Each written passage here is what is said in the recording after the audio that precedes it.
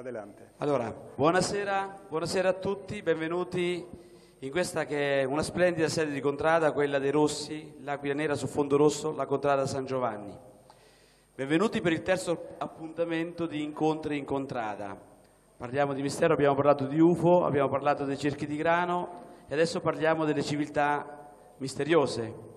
E anche questa volta faremo un viaggio interessante e intrigante con Pier Giorgio Caria. Io non mi dilungo con i discorsi, grazie per la vostra presenza, ringraziamo la Contrada per averci ospitato. Prego Pier Giorgio.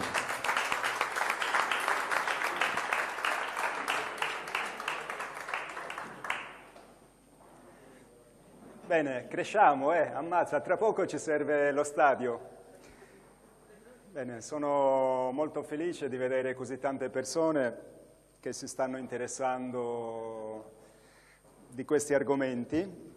Come diceva Manfredo, abbiamo parlato di civiltà extraterrestri, a me chiamarli UFO non piace molto perché l'oggetto volante non identificato oggi è molto identificato, so bene che a livello di società civile non percepiamo come verità scientifica oggettiva questo discorso, ma abbiamo affrontato il perché e il per come, almeno per chi c'era oggi ancora le persone pensano che non esistano le prove scientifiche di questa favolosa visita di questi esseri. E abbiamo visto che in realtà è una verità accuratamente occultata dai poteri del mondo e loro, queste civiltà, non violano il nostro libero arbitrio imponendo la loro presenza e il loro sistema perché le loro leggi e i loro comportamenti sono agganciati alla perfetta conoscenza scientifica della reale natura fisica e spirituale dell'essere umano. Quindi conoscendo queste leggi, che poi sono le leggi che ci fanno nascere, ci fanno crescere, ci fanno morire, ci fanno rinascere e così via, e quindi eh, per loro la libertà dell'essere umano è una cosa sacra, anzi dicono addirittura questi esseri che è sacra in tutto l'universo, cioè le civiltà evolute non violano il libero arbitrio imponendo con la forza, come invece accade, e con l'inganno, come accade invece nel nostro mondo, le proprie verità o presunte tali. Questo discorso eh, apre ovviamente una riflessione che vediamo anche in ambiti più pragmatici come la politica, che il potere spesso e volentieri mente e inganna il popolo perché persegue degli interessi che purtroppo la stragrande maggioranza delle volte non collimano con i nostri, anzi esattamente sono l'opposto dei nostri interessi. Questo avviene in tantissimi settori, per non dire tutti, tranne casi rarissimi e chi osa a livello di vertice sfidare questa metodologia viene spesso eliminato, è accaduto con uh, John Kennedy, è accaduto con Gandhi, è accaduto con Martin Luther King, è accaduto con Giordano Bruno, quindi chi osa sfidare certe regole la paga cara.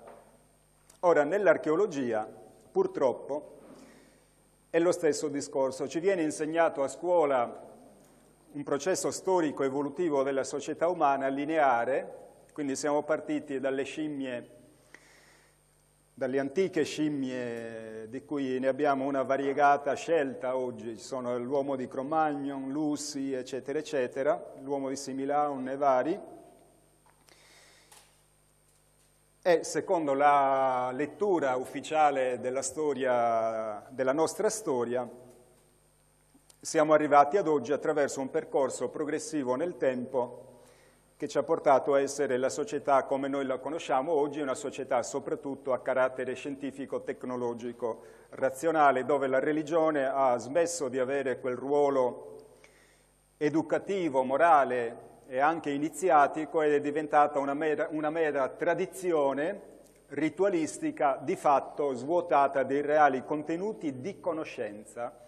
Cioè oggi abbiamo noi una religione fideistica, una religione diciamo così, esteriore, ma che di fatto disconosce il vero insegnamento sulla reale e profonda natura della creazione. Cioè abbiamo immagini medievali del bene e del male, il diavolo con le corna e il forcone o l'angioletto che suona l'arpa sulle nuvole, ci sono stereotipi medievali che sono talmente ormai privi di significato che al di là di un bel quadro o di, un, uh, di una statuina non hanno nessun altro ruolo uh, reale. Dico questo sempre a grandi numeri. Bene, adesso vedremo, eh, ho tratto da un argomento vastissimo, non avete idea di quanto materiale esista in tal senso, delle cose che sono delle caratteristiche strutturali, architettoniche, artistiche e, qualcosa, eh, e qualcos'altro, ma poco, soprattutto questo, per cercare di tracciare una linea che ci faccia vedere che in realtà anche qui non è come ce la raccontano, cioè che eh, nel nostro mondo è esistita un'altra civiltà globale di cui abbiamo perso completamente la memoria ma che esistono vestigia ai quattro angoli del pianeta che ci dimostrano che questa civiltà aveva eh, una metodologia soprattutto costruttiva che ritroviamo ai quattro angoli del pianeta. Oggi è normale vedere in Occidente, in Oriente, al nord o al sud grattacieli, cioè quindi la nostra forma, diciamo così, eh, globale di costruire, soprattutto oggi è il grattacielo che troviamo in Oriente, in Occidente, al nord al sud. Ecco, nell'antichità modelli strutturali e architettonici erano comuni ai quattro angoli del globo, quindi facciamo questo viaggio attraverso le immagini dove vediamo soprattutto che una principale caratteristica di questa, costruttiva di questa antica civiltà globale è il, il megalitismo con la costruzione di mura ciclopiche con uh, nonostante l'enorme peso di queste pietre, potremmo osservare delle super sofisticate tecniche di taglio e incastro di queste pietre, il che ci fa dedurre un'altra cosa, che questa civiltà non solo era globale, ma aveva raggiunto un alto livello di conoscenze scientifiche e tecnologiche che, eh, come noi esprimiamo in tanti aspetti, tra i quali l'architettura, cioè la costruzione degli edifici. Allora, iniziamo questo percorso dal Perù. Ci siamo stati con la troupe del nostro studio, che è la Sidonia Production, nel 2005, siamo stati quasi un mese in Perù, abbiamo girato due documentari che in parte sono andati in onda sulla RAI, anche questi, e quindi parto dal Perù perché è uno dei luoghi che ho avuto modo di toccare con mano e di eh, vedere coi miei occhi. Allora, a Cusco, allora, questo tipo di architettura è abbastanza comune eh, in Perù, però diciamo, gli aspetti principali, più importanti, li troviamo nell'antica capitale del Perù, che è Cusco, capitale che poi, una volta che ci fu l'invasione spagnola, fu sostituita con una città costruita eh, dalle fondamenta dai bianchi, quindi eh, Lima, che è la capitale moderna del Perù, non ha nessuna attinenza con uh, gli antichi popoli che hanno abitato questa parte del mondo. Allora c'è una via a Cusco dove c'è questo muro gigantesco, vedete, con pietre ciclopiche, ma la cosa che più salta agli occhi è l'incredibile perfezione del taglio e dell'incastro poligonale di queste pietre. Questo è un uomo, quindi vediamo bene, sono pietre che pesano decine e decine di tonnellate e sono incastrate l'una con l'altra in maniera talmente perfetta che se provate a inserirci la lama di un, di un coltello non ci entra. Non c'è cemento, non c'è malta, non c'è nulla, solo, solo ed unicamente pietre appoggiate. E dal punto di vista della logica costruttiva non si comprende il perché creare una difficoltà di questo genere. Vedete le angolature, gli incastri, ad esempio questa pietra è molto famosa perché ha 12 angoli di incastro. La vediamo più da vicino. Ecco, qui c'è un ragazzino affiancato, vedete, queste sono altre parti di questo incredibile muro Vedete, se li contiamo, guardate, l'incredibile, pazzesca, voi immaginate mettere in posa queste pietre cosa possa significare? Questa è una pietra che pesa decine e decine di tonnellate, anche perché dopo dentro è molto molto profonda. Ma questa non è l'unica meraviglia di Cusco, considerando anche che eh, gli spagnoli hanno buttato giù un sacco di roba e poi nelle varie epoche successive la stessa popolazione locale, perdendo il collegamento con l'antica civiltà che costruì queste cose, hanno perso la tecnica, quindi non si sa più come facessero a costruirle e a spostarle, perché eh, non è un blocchetto di cemento con un sacco, non c'erano le gru allora, quindi non si sa bene come fosse possibile spostare queste pietre dalle cave tagliarle e poi lavorare e progettare una serie di tagli così perfetti ed incastrarli l'uno con l'altro. Quindi è successo poi nelle epoche successive, dopo l'invasione spagnola, che eh, per costruire le, i nuovi edifici, molte di queste costruzioni sono state letteralmente smontate per farne altre. Quello che è successo ad esempio a Roma col Colosseo, che ne hanno tirato giù un bel pezzo che i romani hanno usato per costruirsi poi le ville, le case e così via. Quindi in Perù è successa esattamente la stessa cosa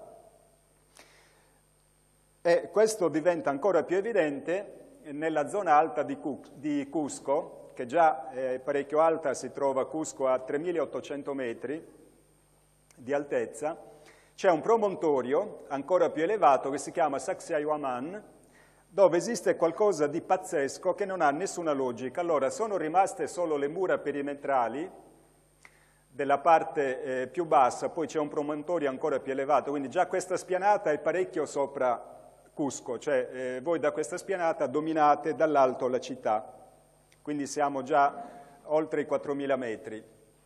Ma queste immense mura, che viste così non dicono nulla, sono un, un, una, un vero non senso costruttivo guardate un po' le persone e guardate anche qui la stessa tecnica di taglio poligonale, di incastro assurdo, poi un puzzle irregolare che crea una difficoltà di lavoro, di progetto, di messa in opera di queste pietre anche a Saxe-Oman, assolutamente senza malta, senza cemento, senza nulla. Sono pietre messe lì e solo incastrate l'una con l'altra.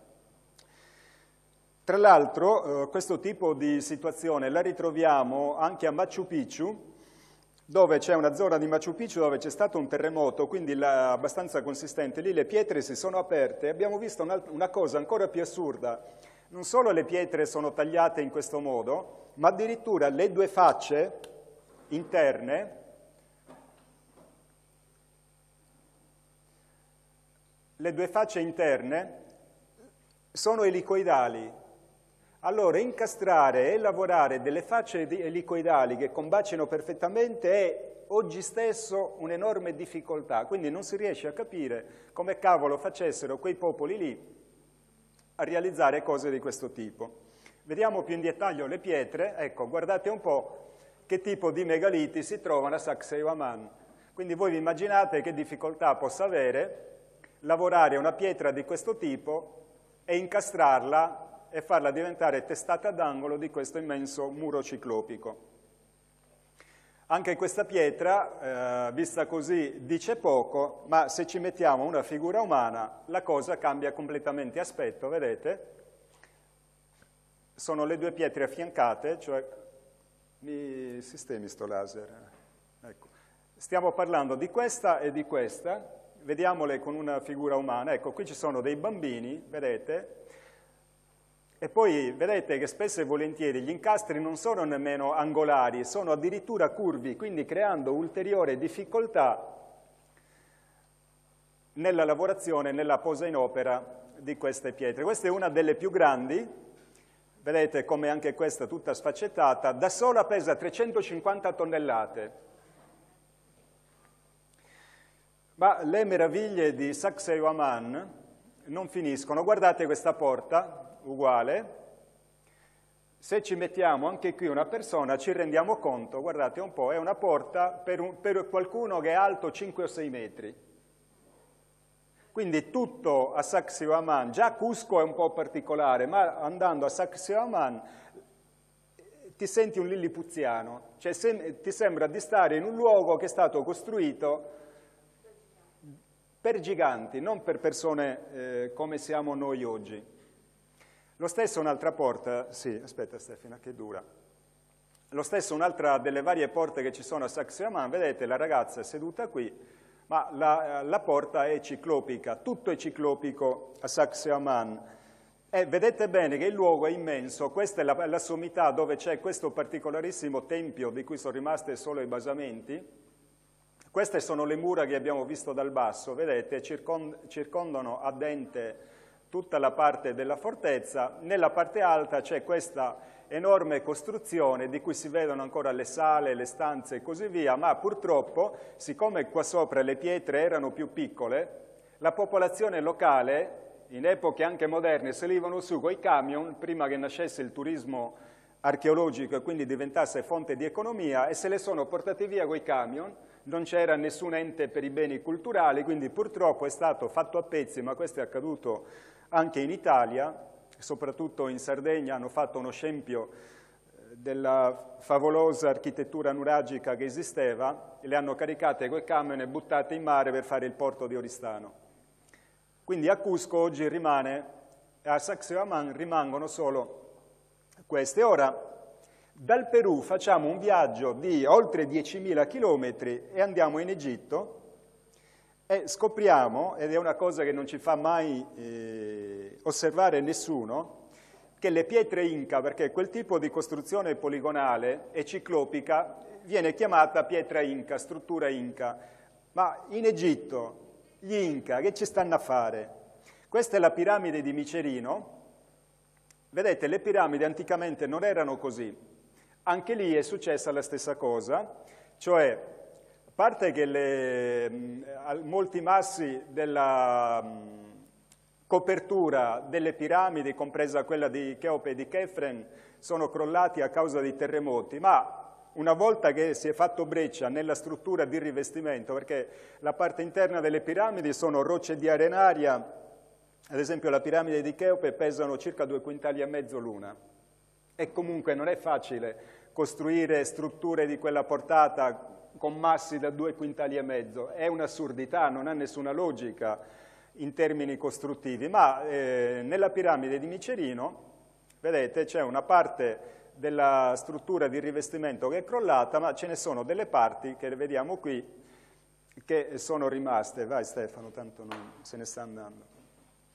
E vedete che le pietre rimaste della facciata delle mura di Micerino, queste sono foto che abbiamo scattato noi personalmente, sono pietre con la caratteristica lavorazione del muro Inca. Vi faccio notare una cosa che prima non vi ho fatto notare, è che nelle pietre inca, vedete queste protuberanze? Ecco, se torniamo sulle pietre inca, ci, ci accorgiamo che queste protuberanze si trovano anche nei muri inca, vedete? Quindi ritroviamo esattamente, magari in una forma leggermente più grezza, però qui dobbiamo considerare le diverse anche epoche, però ritroviamo nelle, nella piramide di Micerino, in Egitto, a migliaia di chilometri di distanza, la stessa tecnica costruttiva di legare le pietre non in modo regolare, ma di tagliarle creando questi puzzle assurdi che eh, secondo la logica attuale, vedete quante ce n'è, secondo la logica attuale, vedete queste sono pietre eh, che sono state messe in epoca moderna e hanno la nostra logica, si fa una cosa di una forma regolare in modo che non ci sia tutto questo problema di fare tutte queste pietre l'una diversa dall'altra, eccetera. Però la cosa che, eh, diciamo, oltre al discorso prettamente megalitico di questi enormi massi che sono appunto difficili da, da eh, non solo mettere in opera e tagliare, ma anche portarli c'è un dispendio assurdo di energia, che una, una pietra così la facciamo in dieci pezzi e la portiamo con più facilità. Quindi non solo la, tutta la difficoltà tecnico-costruttiva, ma anche la uh, difficoltà del trasporto, perché noi presumiamo che all'epoca non esistessero le moderne tecnologie di trasporto e posa in opera, quindi c'è qualcosa che in realtà ci dice che non è come pensiamo noi, perché è evidente che la logica che usavano gli antichi costruttori È una logica che era sicuramente inserita dentro una filiera tecnologica di cui noi oggi abbiamo perso le tracce. Andiamo in Egitto in un altro luogo, il tempio di Abydos, eh, scusate, ad Abydos, nel tempio di Seti, questo è il tempio, e guardate anche qui, vedete la persona qui a terra, anche qui troviamo questi massi ciclopici con questi tagli, vedete, poligonali, incastri strani, guardate che perfezione di lavorazione, quindi c'è qualcosa dell'antico passato, e qui veniamo a un'altra struttura di, eh, di chiara fattezza inca, vedete, c'è qualcosa dell'antico passato che non ci viene raccontato. Ora io mi dico, ma se io che non sono un archeologo mi rendo conto di queste stranezze, è possibile che l'archeologia ufficiale in secoli di studio, per quanto non siano tantissimi, circa tre secoli, non si sia accorto di questo perché si presume che all'epoca gli egiziani con gli Incas non si potevano incontrare perché il vecchio mondo col nuovo mondo ancora non si era unito. Ma com'è possibile che in realtà al, quasi agli antipodi del pianeta invece ritroviamo esattamente lo stesso modo di costruire? Andiamo a vedere un'altra cosa in Grecia, qui ho una sola foto, e vedete che anche in Grecia abbiamo lo stesso tipo di logica, eh, qui non, non, non, sono massi granitici ma è sicuramente arenaria, quindi una roccia molto più friabile e quindi più facilmente attaccabile dagli agenti atmosferici, ma quello che rimane di queste mura greche ciclopiche, vedete, la stessa tecnica, cioè tagli curvi, pietre poligonali, irregolari come dimensioni, quindi Perù, Grecia, Egitto, la cosa incomincia a essere strana. Adesso facciamo un altro salto di migliaia e migliaia di chilometri, andiamo ad atterrare su una delle zone più remote del nostro pianeta, l'isola di Pasqua. L'isola di Pasqua sta a 4.000 chilometri dal Cile e a 1.500 chilometri dall'isola più vicina ed è uno sputo è molto piccola. Ebbene, sull'isola di Pasqua, sicuramente l'immagine più famosa che avete è questa, che sono i Moai. Ma anche i Moai non sono bambolotti da mettere in camera da letto o sul cuscino. Vedete bene di che cosa stiamo parlando. Però lasciamo eh, un attimo da parte i Moai, su cui ho lasciato perdere perché solo sui Moai c'è da fare eh, mezza conferenza, o tutt'una, e andiamo a vedere delle mura che si trovano anche in questo sperduto e remoto angolo del mondo. E vedete che ritroviamo anche qui esattamente lo stesso modo di mettere in opera le costruzioni. Ora, anche in questo caso, stesso discorso, non ci rendiamo bene conto delle dimensioni di questi oggetti qui. Comunque avviciniamoci un attimo, li vediamo più nel dettaglio, vedete? Stesso discorso, pietre megalitiche, vedete la bombatura, quindi abbiamo un incastro, questa è concava e questa è convessa, quindi realizzare una giuntura così non è facile, questa è roccia granitica pesantissima e durissima. Tra l'altro eh, l'isola di Pasqua di fatto è la parte finale di un grande vulcano, che è il eh, Ranu Raraku, dove c'erano le cave da cui veniva estratta la pietra con cui si costruivano sia queste mura che i Moai. Bene, adesso ci mettiamo vicino una persona e ci accorgiamo che la cosa prende un altro aspetto. Anche qui sono mura ciclopiche, vedete, dei megaliti giganteschi con questa perfezione d'intaglio. Vedete, sono talmente ben lavorate che qui siamo quasi a livello di taglio laser. Non può essere opera di scalpellini un lavoro di questo genere. Come fa lo scalpellino a girarsi la pietra, calcolare? Cioè diventa un lavoro da fuori di testa, per usare un termine un po'. Quindi non si riesce a capire perlomeno non riusciamo a capire, ancora oggi questo mistero è rimasto insoluto perché al di là delle cose che dice l'archeologia ufficiale, che tra l'altro questi discorsi li ignora completamente perché credo che forse oltre Voyager e qualche altro programma non abbiate mai sentito un discorso del genere e tantomeno un viaggio che dimostra una unicità e una unificazione culturale, architettonica, che dimostra chiaramente che nell'antichità popoli lontanissimi si scambiavano lo stesso tipo di informazione e lo stesso tipo di tecnica costruttiva.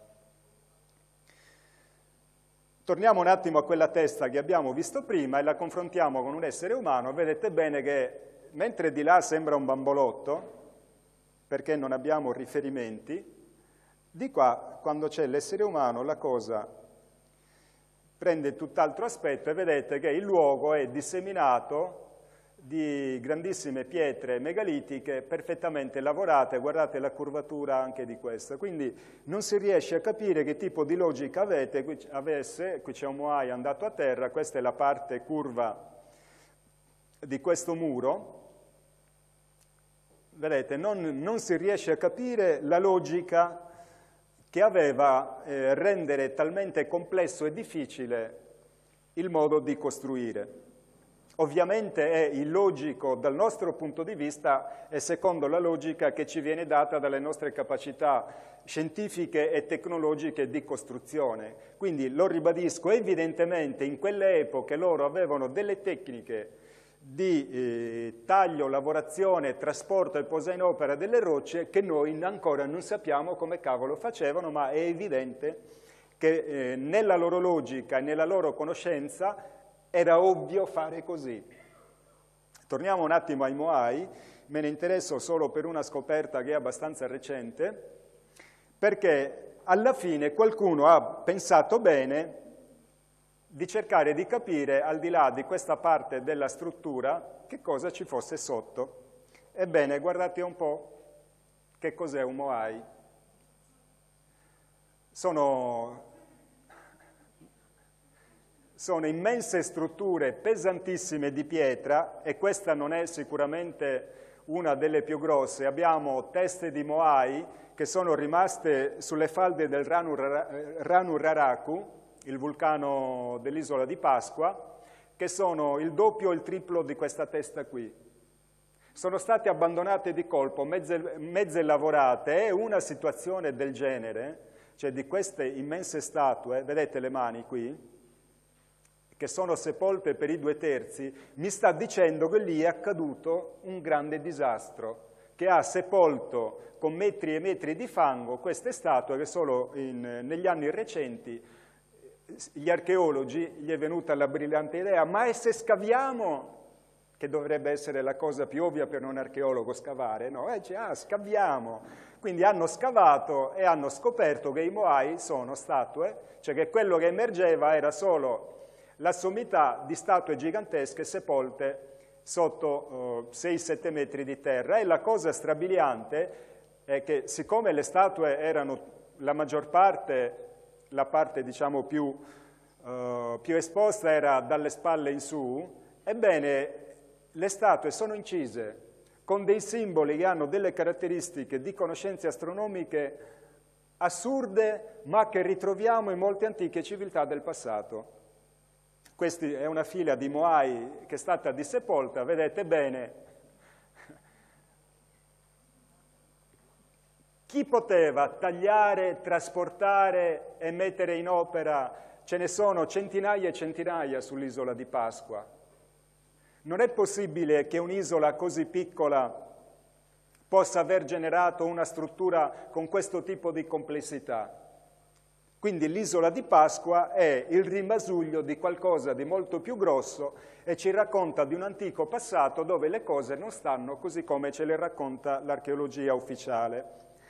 Facciamo un altro salto oceanico e ci spostiamo nella zona dell'arcipelago, mi sfugge il nome, comunque mi verrà, non è le Filippine, bah, lapsus, stanchezza. Comunque nel regno di Tonga nell'isola di Tongatapu, che è un altro luogo sperduto e remoto. Guardate qui, questa è l'Australia, Tongatapu sta qui. E questa isoletta qui sta a circa 3.285 km dal, dalle coste dell'Australia e si trova a sud delle Samoa e a est delle isole Fiji. Questa è una foto satellitare dell'isoletta Ora, anche in questo sputo sperduto nell'oceano, come possono esserci strutture di questo tipo?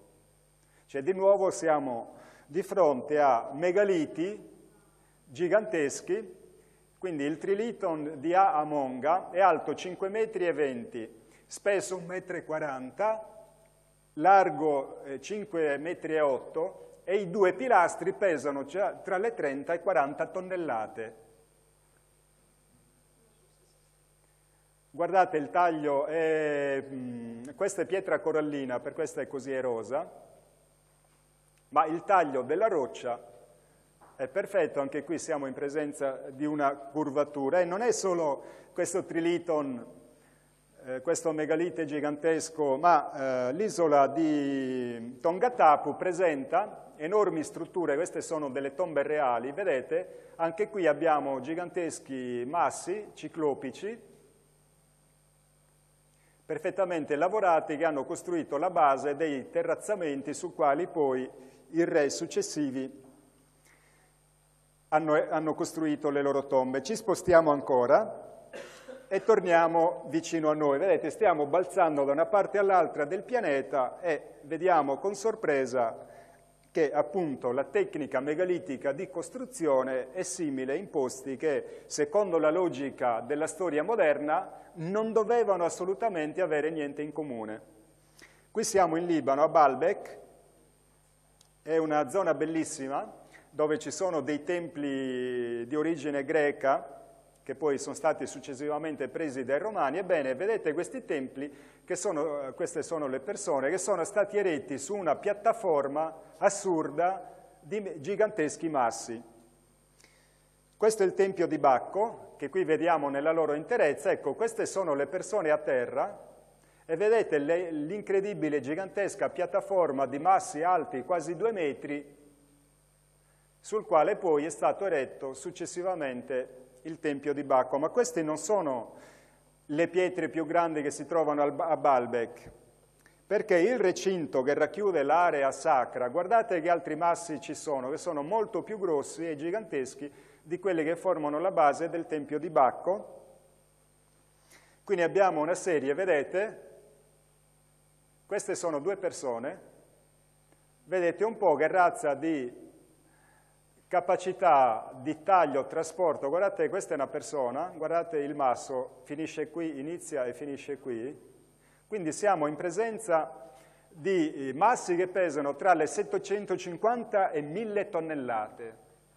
Ora, questo tipo di peso e di perfezione di lavorazione sfida la logica delle più moderne gru. Adesso non so quale sia il peso e la capacità delle gru moderne, ma lavorare, trasportare, mettere in opera masse di questo oh, genere rappresenterebbe una grandissima e terribile complicazione anche oggi. Ad esempio, quando in Egitto fu costruita la diga di Aswan, le statue della Valle dei Re, che sarebbe stata inondata, erano così gigantesche che le hanno dovute tagliare a pezzi, a fettine, numerare, hanno fatto dei puzzle hanno preso le gru più moderne, penso che sia stato negli anni 60 o, o primi anni 70 la diga di Osama, penso anni 60, li hanno dovuti fare a pezzi queste gigantesche statue, prendere le gru, non so se ne avessero progettate apposta, prendere delle gru...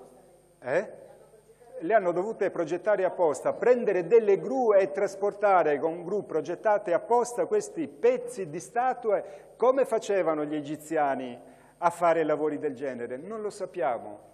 Ancora l'archeologia non ce l'ha detto, non sappiamo se l'ha scoperto, però di fatto ci sono dei nonsensi dal punto di vista tecnico-scientifico-costruttivo di cui l'archeologia ufficiale di fatto o fa finta o li ignora del tutto, ma non si può ignorare roba di questo genere. Guardate, le persone che camminano su queste immense pietre che formano il recinto dei templi di Baalbek. A voglia corde schiavi lì a tirare pietre, come fai?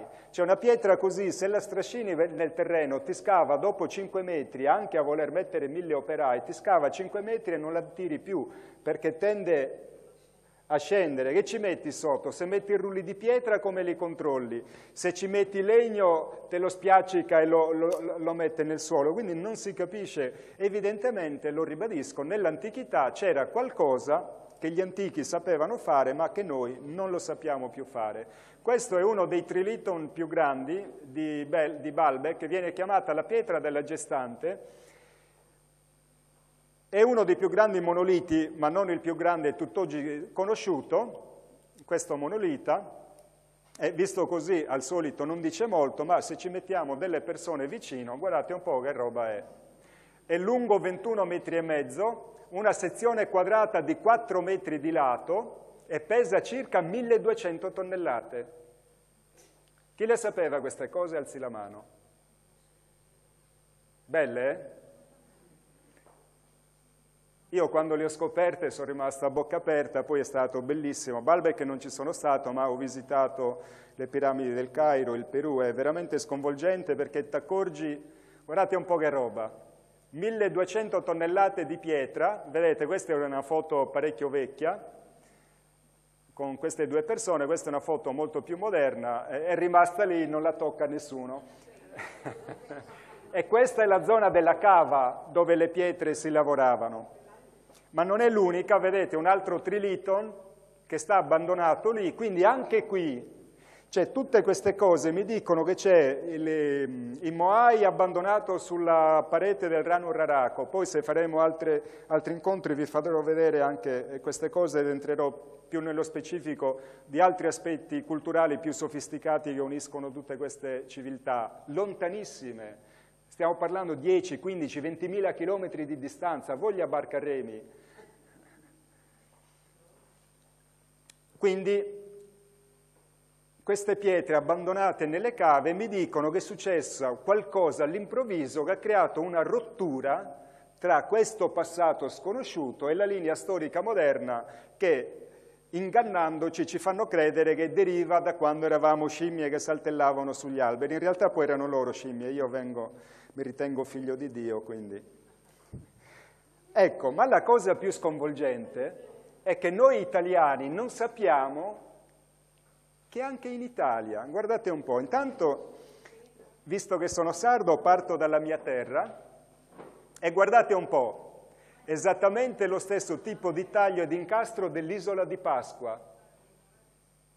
È molto lontana l'isola di Pasqua dalla Sardegna, ho provato ad andarci in bicicletta ma ho desistito. Allora, questo è un, è un tempio sacro, è un pozzo sacro, Vedete la tecnica di taglio sofisticatissima di incastro delle pietre di lavorazione in confronto ai nuraghe è molto più sofisticata, quindi anche qui da noi in Italia c'è una rottura tra un'antica tecnologia costruttiva e le cose più antiche sono molto più sofisticate delle cose più recenti. Cioè le cose più recenti sono state una storpiatura e un tentativo di imitazione di antichissime tecniche perfettissime costruttive, perché questo tipo di taglio, vedete, è quello che abbiamo visto ad Abydos in Egitto, è quello che abbiamo visto in Perù, eccetera, all'isola di Pasqua e così via. Ma in altre zone dell'Italia, soprattutto centrale, vedete, qui siamo ad Alatri, nel Lazio, vedete le stesse eh, pietre megalitiche e ciclopiche con la stessa tecnica di incastro a Pazzol che abbiamo visto in Perù e in tutti gli altri luoghi. Qui siamo ad Alba Fucens, vedete, sembra di stare in Perù e invece siamo in Italia. Qui siamo a Norba, guardate, sembra uno degli angoli di Sacsayhuaman, vedete? Ecco, qui già, vedete, gli edifici incominciano a essere un po' più grezzi, ma ce ne sono altri. Qui siamo a San Felice Circeo, guardate queste pietre ciclopiche, Ce ne sono tanti in Italia, guardate, qui siamo a Pietra Abbondante. Vedete, le mura più moderne sono piccoline, le pietre, sono le pietre che usiamo solitamente noi. Invece l'antico muro che è la base della costruzione è esattamente un muro che ha quel tipo di taglio precisissimo e di incastro che abbiamo visto in tutti gli altri luoghi. Addirittura archi che sembrano archi incas, quelli visti a Sacsayhuaman, qui siamo ad Arpino, Vedete il muro ciclopico anche qui, per cui, torniamo un attimo alla Sardegna, Per cui questa forma eh, costruttiva vedete che è comune in tutto il globo terracqueo. Qui siamo nella zona di Siddi, in Sardegna, dove ci sono le famosissime tombe dei giganti. Vedete, l'ingresso è piccolo, ma una volta che si entra dentro, guardate quanto diventa alto l'ambiente interno e vedete che anche qui abbiamo giganteschi massi che formano, sono al contrario, dovrebbero essere i più grossi alla base, invece abbiamo i più piccoli alla base, i più grossi, cioè proprio a dire rendiamoci la vita difficile. Ma evidentemente non è così, sono logiche eh, che noi non comprendiamo. Questa tomba è talmente gigantesca, io ci sono stato oh, l'altro anno, ce ne sono tantissime, la Sardegna è un immenso eh, parco archeologico a cielo aperto completamente abbandonato a se stesso, di cui nessuno sa nulla. Ed è un immenso tesoro di turismo archeologico che sarebbe meraviglioso perché la quantità di elementi di bellezza, eh, di struttura, abbiamo i dolmen, abbiamo i menhir, abbiamo i pozzi sacri, abbiamo i nuraghe, cioè eh, non ne sa niente nessuno, è completamente lasciato lì, ma c'è una ragione molto precisa perché accade questo. E questa è una delle, delle tombe più grandi, delle tombe dei giganti, si, si chiama Sadome Sorku, che vuol dire eh, la casa dell'orco, che vista dalla dalla, diciamo, nella parte più intera, vedete, questa è l'esedra, è un semicerchio, e poi qui c'è la parte lunga, perché vista dall'alto le tombe dei giganti hanno questa struttura. E queste sono pietre gigantesche, guardate, questa era la pietra frontale, vedete? Sembra una tau. Allora, molti, cioè molti, alcuni ricercatori moderni usano queste tombe come accumulatori di energia, cioè questa parte parabolica eh, condensa l'energia nella parte frontale ed è molto molto forte, addirittura c'è un, un, amico archeologo che qualche giorno che non mi ricordo il nome dirà, bell'amico, che è, porca miseria, uomo terra di... vabbè non mi viene, eh, sono stanco quindi... Eh? Aresu. Aresu ci cura anche le persone, ha fatto delle prove, ci cura le persone, ha visto che in 15 giorni di trattamento è riuscita a togliere le radiazioni da persone di Chernobyl. Io, io sono un po' rabdomante, ho fatto una prova con l'amico Fabio qui, partendo dal bordo, l'asticella ruota piano e man, man mano che ti avvicini al punto focale gira sempre più veloce. Quindi realmente queste strutture non sono solo tombe, ma sono anche degli accumulatori di energia. Anche le piramidi? Eh? Anche le piramidi, certo. Allora, io ho chiesto a degli archeologi ufficiali, ma ste tombe dei giganti, dove stanno gli scheletri? E mi hanno detto questo, erano uh, tombe di sepoltura collettiva, per questo le facevano così grosse. Dice, però a causa del tempo le ossa si sono sbriciolate. Al che io ho pensato, ma i dinosauri? Non è vero che le ossa si sbriciolano, le ossa si fossilizzano. Quindi c'è qualcosa che non quadra in questo discorso, ma lo riprendiamo dopo, cioè torneremo a, a, nella zona di Siddi e di Paoli Arbarei. Intanto faccio un altro salto dalla Sardegna, mi riproietto in un posto particolare che sono le, isola, le isole Bermuda. Chi è che ha sentito parlare del triangolo delle Bermuda? Alzi la mano. Oh, sono son contento. Allora, nel triangolo delle Bermuda sapete bene che ci sono misteriose sparizioni dove spariscono aerei, navi, con tutto. Cioè quando spariscono eh, queste, cioè quando si creano queste situazioni non si ritrova mai nulla, manco una borsetta, cioè sparisce tutto, anche se a volte hanno ritrovato magari la nave, ma è sparito tutto l'equipaggio. Ora, nel, nella zona delle Bermuda c'è eh, l'isola di Bimini, vedete è abbastanza vicino l'isola di Bimini alla Florida, ed è una delle zone dove ci sono state queste sparizioni. Ebbene, nei fondali di Bimini, di nuovo, vedete, ritroviamo delle strutture ciclopiche chiaramente di origine umana, questi enormi massi allineati a pochi metri di profondità dal fondale. Vedete? Vedete? Eh, affascinanti rovine eh, trovate eh, qui a Bimini, The Bimini News, il giornale di Bimini.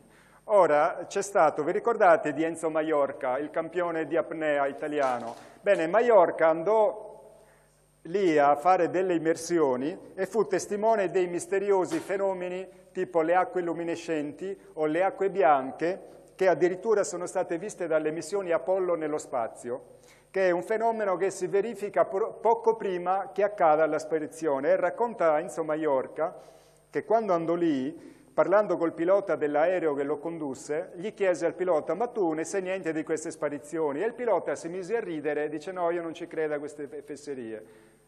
Riparte il pilota e l'aereo sparisce, non si è più saputo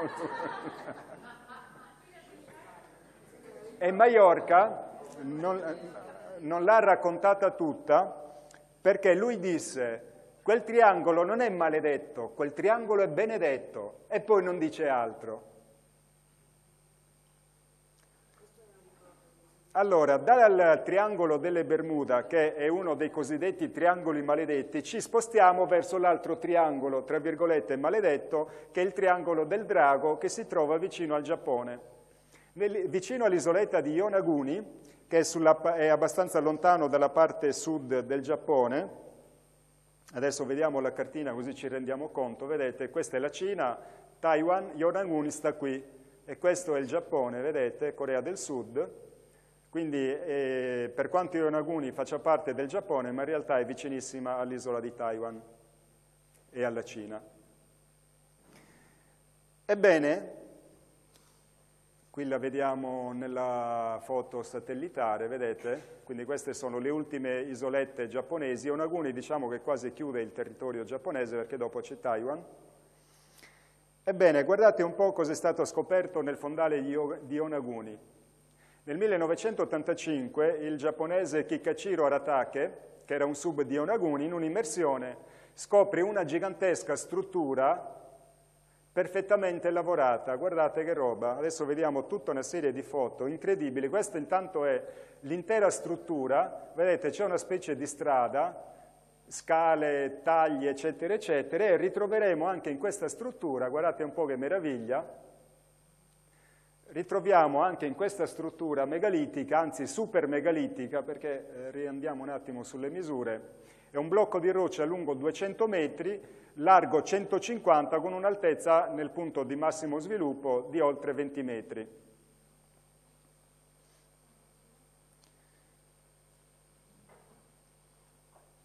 Vedete? C'è i perfetti tagli della roccia. Questo è un taglio, come lo fai un taglio così? Veramente sembrano dei tagli laser, per quanto sono precisi. Non c'è traccia sulle pareti di lavorazione a scalpellino. E poi come fai a spostare per lavorarlo un blocco di roccia così immenso? Dove poi ritroviamo, vedete, le stesse tecniche costruttive che abbiamo visto in tutti gli angoli del pianeta. Quindi L'abbiamo girato quasi tutto, ma soprattutto un attimo focalizzando la tecnica di questo taglio particolare, lo ritroviamo da dove siamo partiti, perché tornando a Saxe-Oman praticamente c'è questa zona che praticamente si trova eh, rispetto alla struttura che abbiamo visto prima dove ci sono le mura ciclopi che si trova di fronte, quindi c'è il promontorio di Saxe-Oman, poi c'è una vallata che sarà larga 150 metri, poi c'è di nuovo un'immensa colata lavica da cui emergono queste eh, pietre perfettamente lavorate. Vicino a Sacsayhuaman, a pochi chilometri, c'è un altro luogo che si chiama Kenko, vedete, dove c'è una immensa, come quella di Onaguni, è tutto un blocco unico di roccia che forma un promontorio ed è tutto tagliato così. È una cosa assurda, non ha nessuna logica dal nostro punto di vista un lavoro di questo genere. Eppure stanno lì. Queste pietre sono veramente delle mute testimoni di qualcosa che nell'antico passato accadeva, ma che l'archeologia fa finta, non ne parla. La storia non ce la presentano con l'evidenza di questa unitarietà tecnico-costruttiva che dimostra una unitarietà culturale che nell'antico e remoto passato ha unito tutto il globo terrestre. Allora, siccome siamo in presenza di megalitismo ciclopico, ma sti giganti sono una leggenda o c'è qualche traccia? Noi i giganti più famosi che conosciamo sono sicuramente Golia, che viene battuto da Davide che poi gli, gli taglierà la testa, quindi nella Bibbia, che non è un libro sacro, ma è un libro storico che racconta cronache dell'antico passato del popolo ebraico, di fatti che sono accaduti. Quindi se Davide, che è uno dei padri dei re più famosi degli ebrei, degli israeliti, si racconta che lui ha sconfitto Golia, che era un gigante, beh, abbiamo una fonte comunque autorevole. E poi abbiamo un poema, che è quello di Ulisse, dove c'è un altro gigante notissimo, che è il gigante Polifemo. Ma visto e considerato che erano giganti, possibile che troviamo i resti di animali giganti come i mastodonti, cioè i dinosauri, e non troviamo i resti delle ossa giganti di questo popolo ormai scomparso, che anticamente sospettiamo, perché a stazza così, o come quell'altro, assume un'altra logica tutto questo, diciamo, assurdo lavoro sovradimensionato, quelle immense porte di Saxe-Aman, queste immense pietre megalitiche lavorate perfettamente, perché a proporzione, ha logica con quella proporzione, non ha logica con la nostra proporzione. Allora, vediamo un po' se esiste qualche reperto anomalo. Ho scartato un sacco di roba perché non è verificabile. Ad esempio, ho cito qualche anno fa un articolo della sezione indiana di... Mm, aia, quegli inglesi che sono autorevoli, come si chiamano? Il, uh, no, no, le, quelli che fanno ricerca scientifica, che si citano, il National Geographic. Mannaggia loro. Dove furono pubblicate, fu pubblicato un articolo dove si diceva che una troupe, un'equipe di archeologi avrebbe trovato delle tombe con ossa umane, con scheletri umani giganti, stiamo parlando di 6-7 metri di altezza. Non le ho messe le foto, quindi magari ve ne parlerò la prossima volta perché il materiale è veramente tanto, eh. il tempo che abbiamo non è tantissimo, che dopo poi voglio lasciare come sempre lo spazio alle vostre domande. Quindi vengono, viene pubblicata la notizia, vengono pubblicate le foto che sono veramente pazzesche, però National Geographic inglese si dissocia e alla fine fanno uscire la notizia che era, tutta, che era stata una, uno scherzo e che usando dei bravissimi tecnici di Photoshop, quel programma di fotoritocco, hanno fatto questa beffa.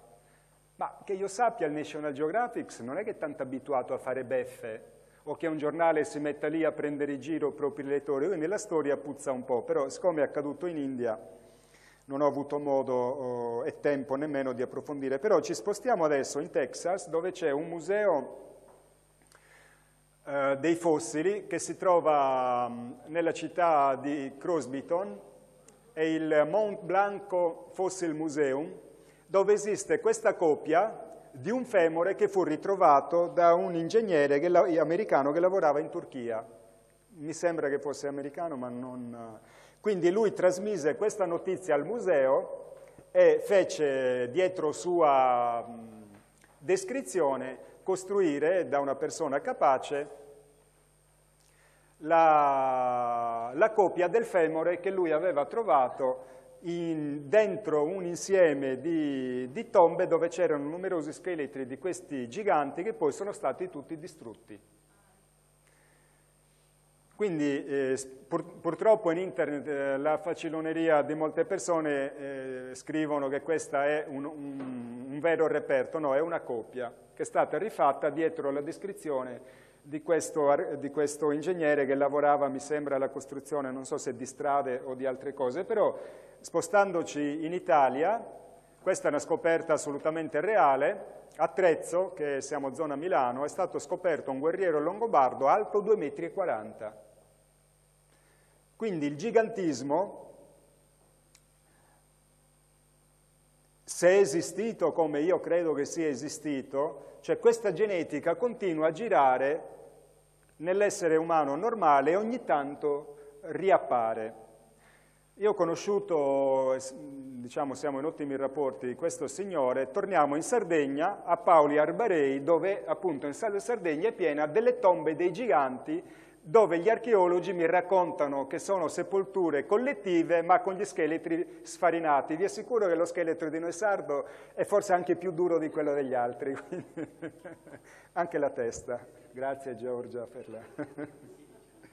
Allora, eh, questo signore si chiama Luigi Muscas, vive nel paesino di Pauli Arbarei, credo che abbia 700 abitanti se ci arriva, è sperduto in un'immensa zona, diciamo così, non, non, non ci sono alberi, ce ne sono pochissimi. Allora, lui ha dedicato la sua vita alla battaglia di far accettare dalla comunità scientifica il fatto che gli antichi nuragici erano giganti, perché i nuraghe, così come li conosciamo oggi, sono una piccola parte di una immensa struttura la cui parte sovrastante è andata distrutta e la cui parte sottostante è tutta sottoterra ed è gigantesca rispetto alla torre che emerge, che già le, la, la torre che emerge è fatta di pietre megalitiche, così come le abbiamo visto. Ora Muscas non ha che storia racconta? Racconta che lui da bambino aveva eh, trovato una tomba di giganti non ancora eh, diciamo, conosciuta dagli archeologi e dentro c'era un, uno scheletro gigante che era mummificato e loro ci giocavano perché eh, questo scheletro aveva ancora dei tendini e loro li schiacciavano e gli facevano muovere le mani a questo gigante, ma lui parla di un teschio grosso così. Poi vennero gli archeologi scortati dai carabinieri e si sono portati via tutto. Allora lui accusa l'archeologia sarda che trovano, distruggono tutto questo perché non si deve sapere, cioè non vogliono che venga fuori la storia, ecco perché il motivo, l'archeologia sarda, ricchissima, gli inglesi hanno quattro pietre che si chiama Stonehenge, a Veburi e qualche altro e ci va tutto il mondo, noi abbiamo in Sardegna cento volte di più ed è abbandonato nei terreni dei pastori con una storia. Ecco, questo è uno dei denti di giganti perché Pauli Arbarei, che è una contrazione eh, dell'antico nome del posto, che è la palude dell'acqua del re, perché si diceva che a Pauli Arbarei ci fosse la capitale dei giganti e i giganti giravano il mondo perché avevano la telecinesi e con la forza del pensiero spostavano le navi. Infatti le, le navi nuragiche, i, bronzetti nuragici, non hanno mai remi, quasi mai. E a Paoli Arbarei, lui, Luigi mi ha raccontato, eh, che poi gliene parlava anche il nonno e la nonna, che gli sono state distrutte anche su iniziativa dei religiosi un numero enorme di templi perché dicevano che era un'opera del diavolo perché in molti templi c'era una donna, una dea madre col bambino. Quindi i preti dicevano è il diavolo che ci vuole ingannare creando statue che sono simili alla Santissima Vergine e quindi li hanno tutti distrutti. Mi, di, mi racconta Muscas che c'era una zona che eh, gli anziani chiamavano la zona dell'ospedale dove c'erano protesi dentarie, protesi di arti, e tutto questo è andato distrutto. Questo è uno dei denti che mostra Luigi. Guardate, questo è un pezzo di mandibola con due denti ancora attaccate. Guardate questo dente. Qui stiamo parlando di uomini che hanno 5-6 metri d'altezza per avere questo tipo di eh, proporzione. Io le ho viste di persona tutte queste cose. Siamo andati anche qui a Sant'Anastasia, che è una zona dove stanno oh, facendo degli scavi, erano emerse delle tibie lunghe 1,70 m, cioè la sola tibia come quella che c'è esposta in copia al Fossil Museum in Texas. Queste sono foto che eh, sono state scattate antecedentemente a quando ci sono andato io. Quando ci sono andato io già le avevano fatte sparire e non, si, non si poteva accedere al posto perché era tutto recintato. Poi Luigi mi ha portato, qui lo vediamo lì nella mh, mm, tomba dei giganti che abbiamo visto prima, mi ha portato in un posto dove c'è una piramide a gradoni e questi sono i massi che sono crollati dalla parete della piramide. Non lo sa nessuno che in Sardegna ci stanno le piramidi, manco io. Sapete che emergeva la testa? Gli archeologi ci hanno messo un grandissimo telo sopra per occultarla e l'hanno tutta recintata. Ora si recinta ciò che tu hai paura che venga portato via, ma io non vado in macchina a caricarmi un masso di questa portata. Le facce a vista di questi massi sono tutte incastrate di pietre irregolari di quarzo bianco, quindi quando la piramide era tutta scoperta brillava sicuramente alla luce del giorno. Quindi di tutto questo non si sa assolutamente nulla e Luigi fa questa battaglia, ha scritto vari libri, ma la cosa più strabiliante è che nei pochi giorni c'era, oggi non c'è Luca, ah Luca, ciao, con Luca siamo andati a intervistare gli anziani del posto, ne abbiamo conosciuti alcuni e tutti ci hanno confermato che da bambini loro i giganti ci giocavano, cioè era una cosa comune per loro. E la leggenda degli anziani dice che i giganti venivano dalle stelle erano molto evoluti, però a un certo punto si inorgoglirono e si ribellarono alle leggi di Dio e Dio li ha puniti distruggendoli. Quindi questo discorso di queste immense strutture completamente sotterrate che ritroviamo ai vari angoli del pianeta come eh, quel Moai che avrà avuto minimo 8-9 metri di altezza, è successo qualcosa nell'antico passato che ha completamente sepolto lasciando poche tracce sparse qua e là, incredibili strutture che appartenevano a questa antichissima, sconosciuta e molto avanzata civiltà umana di cui noi non sappiamo più nulla. Allora il discorso pazzesco è che in tutta la zona dove ci sono i resti dell'antica capitale dei giganti, sono, siamo stati su una collina che di fatto è la sepoltura di un'immensa reggia nuragica alta 55 metri con nove torri con massi della stazza più o meno di questo qui. Lì non ci scava nessuno, quindi c'è un immenso terreno archeo eh, eh, capitale archeologico sepolto nella zona di Paolo e Arbarei che è completamente abbandonato a se stesso. E allora questo è uno degli ultimi reperti, è un anello in ferro, perché Paolo e Arbarei, la palude dell'acqua del re, non solo era la capitale dei giganti, ma aveva anche un porto che si collegava al mare. E mi racconta Luigi, ci ha raccontato Luigi, che prima c'erano giganteschi anelli di ferro che erano fusi nelle rocce, ai quali i giganti attraccavano le loro navi. Questo è uno dei più piccoli, e vedete non è corroso, cioè c'è un leggerissimo strato di ruggine, però non è corroso per un ferro che è molto molto vecchio, e queste anelle sono ormai state tutte perse, c'è stato molto sciacallaggio dei predatori di tombe, abbiamo avuto eh, modo di parlare anche con un tombarolo, pentito, ormai una persona adulta, lo faceva da ragazzino, e lui ci ha raccontato che trovarono una tomba di un gigante, ai, eh, ai quattro angoli della tomba c'erano quattro scheletri di umani normali, quindi i giganti e gli umani coabitavano ma ovviamente i giganti comandavano perché stai zitto se no. ma dice questo gigante aveva una spada e dei gioielli, ha detto che i, i, gli orecchini delle gigantesse erano così grossi d'oro. Ora questo vi può far fare delle ipotesi. Allora, essendo la capitale dei giganti, e i giganti venivano dalle stelle, avevano anche una tecnica astronautica, Ebbene, siamo stati lì alcune sere e sopra la zona di Paolo e Arbarei c'è realmente un traffico nel cielo assurdo. Noi tutti vogliamo vedere UFO, vai lì, quasi ogni sera vanno e vengono in continuazione. Addirittura io personalmente, anche Fabio, Luca no, non l'ha visto, però siamo stati testimoni, io ho visto, a un certo punto mi giro e vedo all'altezza di un tetto una grossa sfera di una casa, pensavo fosse un lampione. E Luigi si mette a ridere e mi dice no, aspetta un attimo, di colpo questa sfera piglia e parte verso il cielo, ma tranquilla, fino a che è arrivata, è diventata grande quanto una stella come le vediamo e si è fermata lì.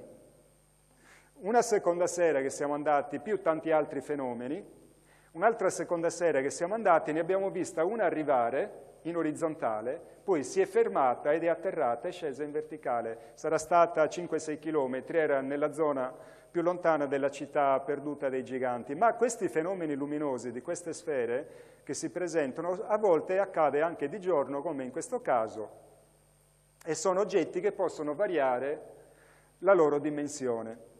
Quindi tutti questi discorsi ovviamente ci conduce a un unico ragionamento, cioè che la storia del diluvio è vera, perché le tracce evidentissime di un megalitismo assurdo, illogico secondo la nostra condizione, anche a livello di dimensione e di struttura, ha una sua logica se parliamo di giganti. Quindi quello con cui eh, combatté Davide, o quello che è riportato nella storia dell'Odissea di Ulisse, evidentemente sono le tracce e il retaggio fisico e culturale di un'antichità di cui noi abbiamo perso memoria. E anche la storia del diluvio, che noi tutti conosciamo il discorso dell'arca di Noè, ma pochi, poche persone e a scuola non ce lo dicono, che la leggenda del diluvio è in tutto il mondo, cioè tutte le culture hanno il loro Noè. Ad esempio, nella remota città boliviana di Tiahuanaco, che oggi si trova a circa 4.000 metri d'altezza, ma era un porto, un porto megalitico, ebbene questa, è stata trovata questa incisione che proprio racconta un diluvio. Ma ci spostiamo nello Yucatan, quindi in territorio Maya. Allora, questo fregio fu trovato dall'archeologo austriaco Theobert, Theobert Mahler tra, credo tra la fine dell'Ottocento e i primi del Novecento, perché Mahler comunque muore, mi sa, prima della, guerra, della Prima Guerra Mondiale, lui trova questo fregio Maya dove vediamo gente che sta affogando, quindi una scena del diluvio, vulcani che eruttano, strutture megalitiche che crollano, questa è una piramide, vedete la scalinata e i blocchi che cascano a terra. Purtroppo eh, nella seconda guerra mondiale questo fregio è andato perso, però fortunatamente è stata conservata l'immagine. Quindi il discorso del diluvio è un discorso universale e la storia di Noè non è altro che una delle tracce della scomparsa di un'antichissima evoluta civiltà che ha dominato l'intero globo, una civiltà che si spostava, che poteva andare dall'isola di Pasqua nel mezzo dell'Oceano Pacifico, venire in Sardegna, andare in Egitto, eccetera, eccetera, eccetera.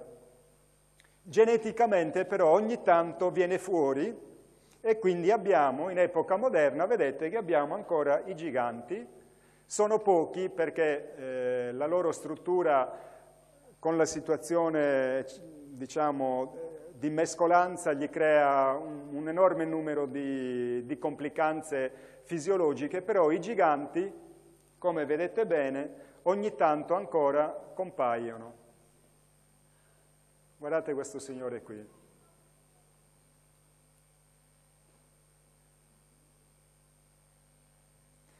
Ora, per andare a 10, 15, 20 mila chilometri di distanza, ovviamente ci puoi andare in nave, ma una volta che arrivi in spiaggia, come vai a Machu Picchu? Dove a Machu Picchu trovi lo, lo stesso queste strutture megalitiche.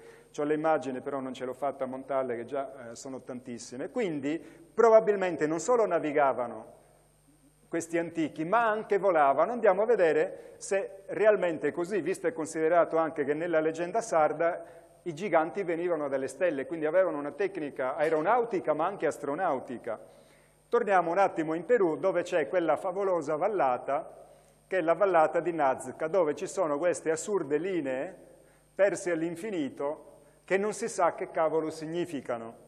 Con Luca abbiamo intervistato un archeologo che eh, Rojas e anche all'epoca, almeno 2005, era uno degli archeologi più famosi del Perù, e gli abbiamo chiesto, ma eh, professore, ma Cos'erano queste, queste linee? Lui, ah, beh, chiaro, l'abbiamo scoperto, sono antichi camminamenti rituali. Ah, che bello, andiamo, ci facciamo una passeggiata. No, no, si rovinano. In che senso? Se sono camminamenti ci si può camminare, non si fa un camminamento dove non cammini perché si rovina. È come uno che si fa la casa ma non c'entra perché gli casca in testa. Ecco, ti danno queste risposte allucinanti che tu dici o è scemo o lo fa apposta, che non è possibile. E altre cose ancora che vi racconterò in un'altra occasione, su un'altra pietra, ti ricordi Luca, la pietra, quella lì, quella di Canò, quella lì sì, perché quindi non solo ci sono queste assurde linee che si sviluppano perfettamente dritte per chilometri, chilometri e chilometri, ma ci sono anche disegni al suolo immensi che possono essere visti solo dal, in volo.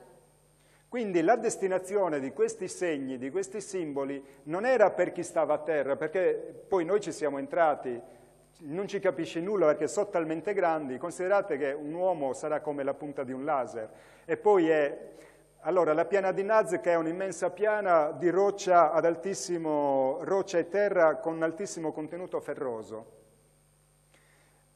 E che hanno fatto per fare questi disegni? Però se sposti un po' oh, questo strato ossidato, sotto c'è un, un suolo, probabilmente a natura credo che sia silicea, quindi il contrasto tra il rosso cupo della, dello, strato, eh, dello strato superiore e la chiarezza dello strato inferiore crea questo, uh, questa uh, visibilità e si mantengono inalterati nei secoli perché Nazca è uno dei luoghi più secchi del pianeta, non ci, non ci piove quasi mai.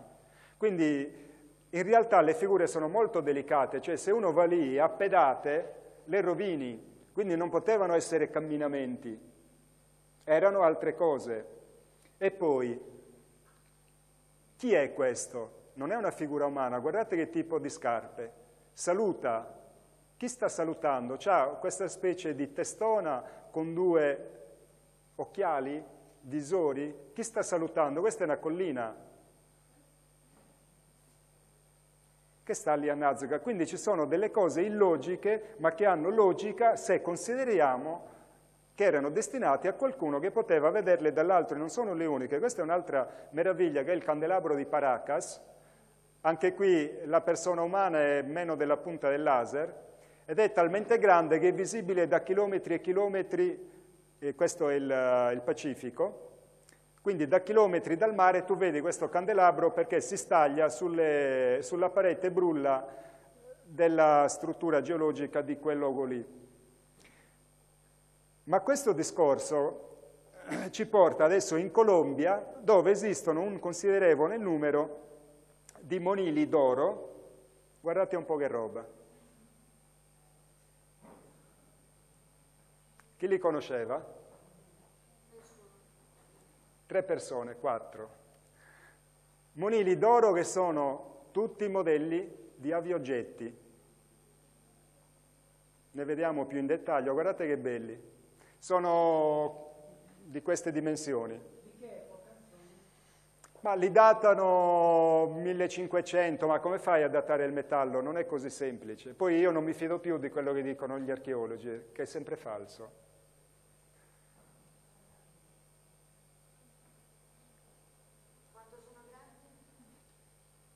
Beh, hanno il loro valore, eh, sono dei begli oggetti, vedete?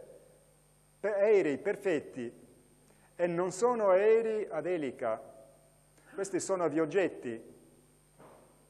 Ora, quei buontemponi di History Channel li hanno fatti costruire, questo è il modellino di riferimento, li hanno fatti grandi in scala e volano. Cioè dal punto di vista della tecnica aerodinamica sono degli aerei perfettamente dimensionati per il volo. Vedete il modellino? Quindi erano dei soprannobili, i ragazzini giocano con l'aeroplanino. Ecco, ci facevano anche i monili, forse perché all'epoca c'era una classe dominante molto evoluta e un popolo che vedeva queste cose in un certo senso sacro. Perché nell'antichità, lo vorrei ricordare, gli dei vivevano con gli uomini. Ora c'è da stabilire chi erano gli dei? Ad esempio in, um, in Bolivia c'è la Puerta del Sol di Tiahuanaco dove c'è la figura del loro dio che è Viracocha. Viracocha era accompagnato da dei collaboratori. Viracocha è quello che ha dato inizio all'antica civiltà boliviana, che poi chiam viene chiamato secondo vari nomi a secondo delle diverse etnie. Viracocha fu l'iniziatore della civiltà inca, e poteva volare. I suoi collaboratori venivano chiamati gli splendenti.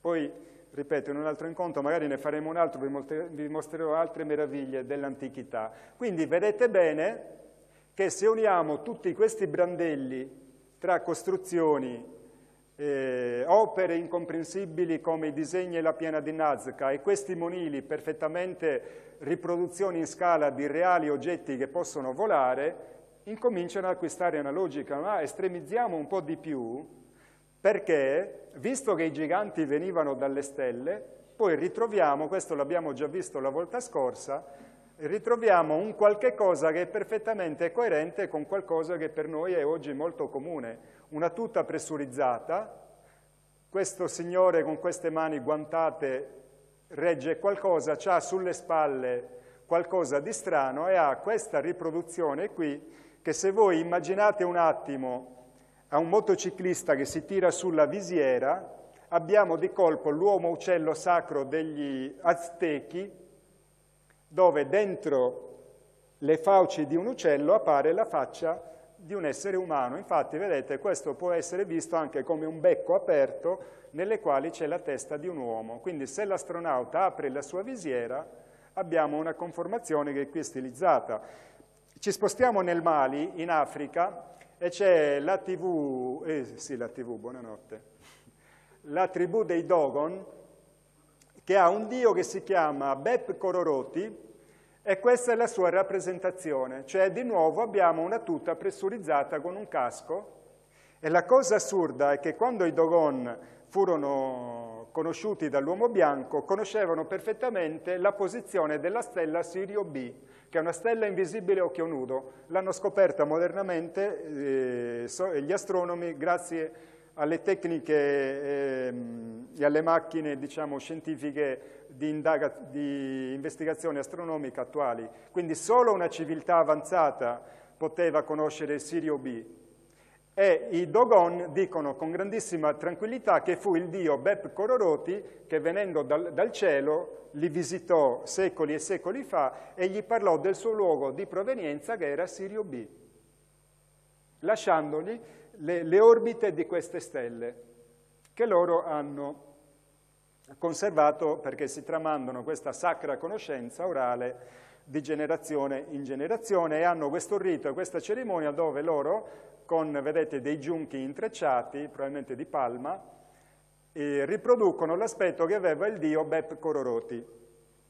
Andiamo di nuovo nello Yucatan, città maya di Palenque, dove c'è la famosa stele del dio Pacal.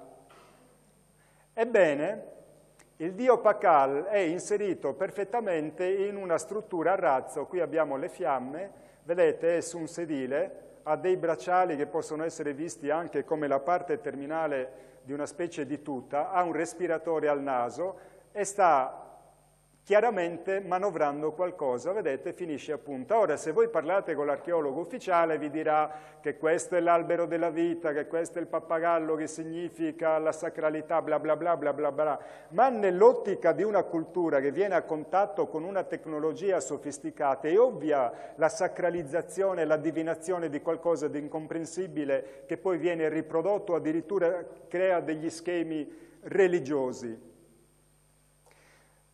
Ma fortunatamente questo discorso qui, cioè di un, un piccolo eh, trasportatore a razzo del remoto passato, non è rara e recentemente sono emersi altri oggetti Maya. Vedete, questa è una, una piastra che, porta, che i sacerdoti portavano al petto, qui ci sono i buchi per appenderle, vedete che abbiamo di nuovo un altro shuttle a razzo dove a guidare stavolta è un essere extraterrestre. Addirittura sta trasportando un disco volante. ed è nel cielo, vedete, abbiamo i pianeti. Ci spostiamo dai Maya, veniamo in Turchia e guardate un po', un perfetto oggetto a razzo di queste dimensioni qui, lo tenevano in magazzino, sapete perché? Dicevano che era un falso, sapete perché? Semplicemente, beh, è impossibile che nell'antichità ci fossero così a razzo, ma che c'entra? Chi l'ha fatto tirare fuori è stato Zeccaria Sitchin che gli ha detto, beh, esponetelo, poi lasciate allo spettatore la decisione se possa essere vero o meno. Gli manca la testa, è la parte superiore, vedete, è un, di nuovo una tuta pressurizzata, un, un tubo respiratore, ed è chiaramente la rappresentazione in termini reali di questa cosa qui, niente di più e niente di meno. Quindi vedete che abbiamo interessanti indizi che la storia non è come ce la raccontano. Tra l'altro sono indizi talmente pesanti, alcuni che è difficile toglierli da lì. Stanno lì, basta non parlarne e facciamo tutti finta che non ci sono. Invece queste gigantesche pietre megalitiche esistono. Ora, tutto questo discorso che vi ho fatto in relazione a questo oggetto che poi viene divinizzato, e quindi l'astronauta diventa il dio, Pakal, l'oggetto diventa l'albero della vita e tutta la minestra che vi ho, ho detto, ma in epoca moderna è accaduto qualcosa di simile. Allora, durante la seconda guerra mondiale si chiama culto de del cargo, o cargo cult, a volte lo usano in inglese. Allora, nelle isole della Micronesia, eh, durante l'avanzata degli americani verso il Giappone, molte di queste isolette furono adibite a basi di appoggio dove furono costruiti dei rudimentali aeroporti dove gli aerei cargo trasportavano merci e le tenevano lì in custodia che dovevano rifornire l'avanzata degli americani verso il Giappone. Che succede? Che in queste isolette all'epoca esistevano tribù che non avevano mai avuto contatti con l'uomo bianco. Quindi che accade? Accade che questi indigeni vedono arrivare gli dei dal cielo gli dei non lavoravano e nei loro magici eh, uccelli tonanti avevano merci di ogni genere e tipo, cose per loro fantascientifiche. E che è successo? Finita la guerra, gli americani hanno smontato tutto e se ne sono andati, abbandonando i poveri indigeni che dopo aver conosciuto cioccolata, zucchero e tante altre bellezze, che forse era meglio che non le conoscevano, aspettavano il ritorno degli dei e hanno creato una religione che si chiama culto del cargo. Hanno costruito aerei di paglia, una classe sacerdotale e dei fuochi sacri, vedete? Addirittura eh, eh fantocci di piste d'atterraggio e i sacerdoti e gli sciamani del culto del cargo pregavano e tenevano accesi i fuochi sacri sperando che gli dei, cioè gli americani, tornassero lì si è scoperta questa cosa qui negli anni 60 perché gli antropologi, quando vennero a sapere che era accaduto questo incontro, dice ma che andiamo a vedere che è successo a distanza di 30 anni, hanno trovato queste robe qui. Questa è un'immagine di un di un film documentario che si chiama, lo trovate anche su YouTube, si chiama Gli extraterrestri torneranno, troverete parecchie di queste cose. Vedete gli indigeni intorno al fuoco sacro, che aspettano fiduciosi, grazie alle loro preghiere, che gli dei tornano, tornino con i loro magici carri di fuoco. Ora, tutto questo discorso ci porta anche a una conseguenza, ma se tutto questo è vero, ci sarà qualche traccia anche tecnologica? Andiamo un attimo a vedere e troviamo gli OPARTs, vuol dire out of place artifacts, cioè oggetti fuori luogo. Andiamo a Delhi, in India, e c'è questa colonna di ferro, che si, oh, chiama colonna di ferro o colonna di Ashoka, alta 7,20 metri per un diametro di 41 cm, pesa 6 tonnellate. Ha circa 1600 anni e non è corrosa, vedete? Quindi c'era qualche tecnica eh, come si chiamano le tecniche? Eh, tecniche metallurgiche che hanno prodotto un ferro che oggi ci farebbe comodo perché non arrugginisce. Poi ho letto delle spiegazioni assurde perché hanno detto siccome all'epoca si usava la carbonella, la carbonella emette dello zolfo, ma scusa, se c'era una metodologia antica che ti faceva il ferro che non arrugginisce, perché non la fai anche oggi? Quindi queste spiegazioni sono abbastanza assurde. Le sfere di Kleskdorp sono una serie di piccole sfere metalliche, vedete, di diametro tra 1 2 cm, che sono state ritrovate nelle cave di pirofilite presso la cittadina di Ottosdad in, uh, in Sudafrica. Allora, secondo lo strato nelle quali queste sfere sono state trovate, dovrebbero avere un'età di 3 miliardi di anni. Ovviamente non le abbiamo fatte noi, però stanno lì. Altro reperto assurdo, la pietra di Lanzhou in Cina fu ritrovata da un tizio, una pietra che ha 6 x 8 cm a forma di pera, colui che la ritrovò pensava fosse un geode, quindi vuoto dentro. Invece quando la va a spaccare ci, ci trova dentro una punta metallica filettata. Spostiamoci in, in Egitto, con il disco di scisto cosiddetto, questo qui, che non si capisce bene che cavolo sia, sembra la pala rotante di qualche cosa. Lo scisto è una roccia estremamente friabile, è difficilissimo lavorarla perché tende a sfaldarsi. Sapete come l'hanno esposta? Porta, eh, porta incenso. Quindi eh, di questi oggetti ce ne sono parecchi, io mi sono limitato a una piccolissima rassegna, allora, quando gli archeologi trovano qualcosa di spiegabile, è un oggetto votivo, un portaincenso, sempre robe così, oggetto sacro. Ma questo oggetto ha una chiara evidenza tecnologica. Tra l'altro la lavorazione dello scisto metterebbe in crisi anche gli, gli, artigiani attuali che lavorano la pietra, qui lo vediamo in un'immagine più grande. Però è esposto lì, allora la, quella navetta turca era falsa perché non potevano esserci navette nell'antichità. Questo è un portaincenso, anche se chi l'ha detto che è un portaincenso? L'hanno deciso loro. Spostiamoci in Russia, Monti Urali. Nel 92 io ero in Russia, uh, andai in Russia subito dopo queste scoperte, i ricercatori erano al massimo, al massimo cielo, al settimo cielo, perché nei Monti Urali furono trovate queste nanotecnologie, oggetti con lavorazioni nanotecnologiche. Questo è ingrandito cento volte e guardate la perfezione della lavorazione di queste spirali sui quali poi si inserisce un'asta centrale. Allora, si, più o meno si ipotizza che siano oggetti che hanno 300.000 anni di antichità. Chi possa aver fatto queste cose 300.000 anni fa non si sa. Mi, ricordo che parlai con un uh, ricercatore russo, si, chiamava, si chiama Valery Uvarov, e lui sosteneva che potevano essere degli oggetti di qualche oggetto extraterrestre che fu perduto o ebbe un incidente in quella zona degli Urali. Altro oggetto, questo è conosciutissimo, è la macchina di Antichitera, fu trovata a largo dell'isola di Cerigotto grazie a dei pescatori eh, di spugna, si fa risalire al secondo secolo a.C.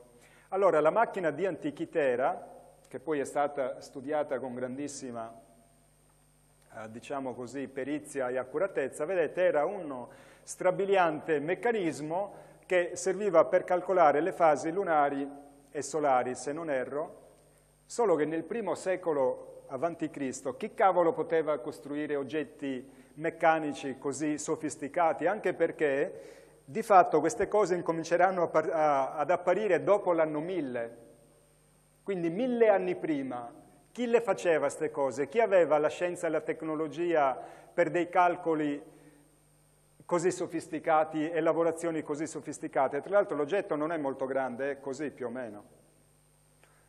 Comunque, siccome si trova ad Atene, è stato studiato con molta serietà e lo, oggi esiste anche la copia completamente ricostruita. Bene, termino qui, Credo comunque di avervi dato un po' da pensare che non è così come ce le raccontano. Grazie.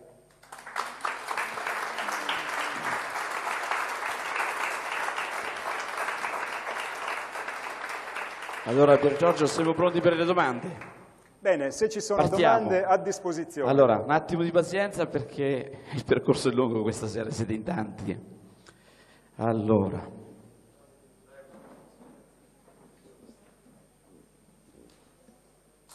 Volevo ricordare anche che per quanto riguarda i giganti, eh, traccia dell'esistenza dei giganti c'è anche nel Nuovo Testamento, in cui si Certo. parla degli angeli che si scesero sulla terra, quindi potremmo pensare che non erano angeli, e si congiunsero con le figlie degli uomini, dice la Bibbia, Sì. e nacquero dei giganti. Ora, a parte l'idea, avendo partorito tre volte, di partorire dei giganti, credo che per le figlie degli uomini non fosse il massimo.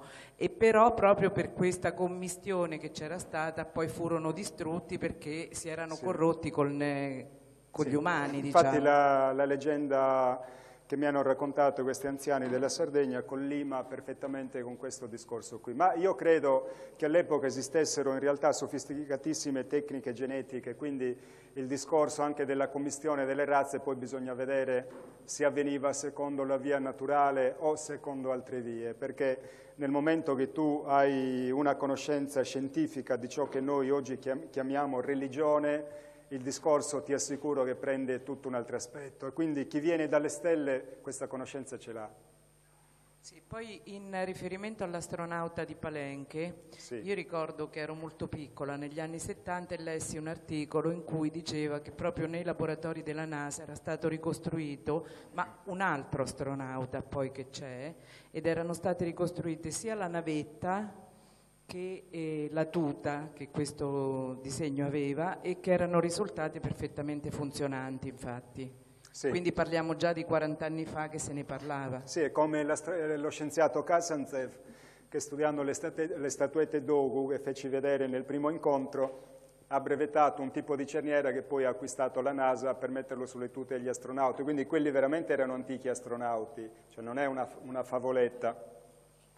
Poi ora il discorso, purtroppo il potere ci vuole tenere dentro un sistema che è anche una gabbia mentale per cui noi dobbiamo vedere le cose in un certo modo che è funzionale ai loro interessi, ma in realtà la storia del mondo è estremamente più bella e complessa di quello che eh, ci raccontano loro, soprattutto vedi, se l'umanità prendesse consapevolezza che altra civiltà antica, avanzata, è stata veramente distrutta, ci porremmo il problema del nostro comportamento poco etico attuale che sta distruggendo di nuovo la vita del pianeta, ma questo lede gli interessi delle grandi multinazionali.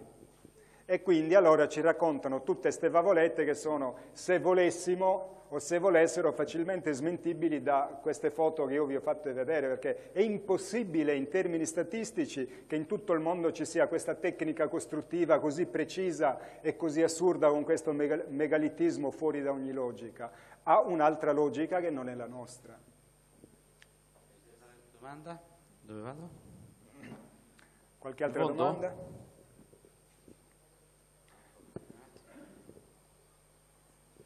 Siamo liberi, eh? cioè, se avete anche domande dei vecchi incontri sono qui, non è che adesso dobbiamo parlare solo di pietre. Eh, allora, abbiamo visto il fossile del, del gigante, quello dei 2,40 metri, no? Però penso che poi dopo abbiamo visto un po' di foto di persone giganti, eccetera, eccetera.